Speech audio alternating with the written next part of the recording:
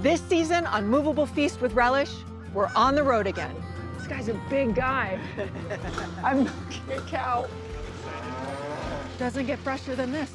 Bringing together the country's most innovative chefs and food artisans to create what's best described as a culinary jam session.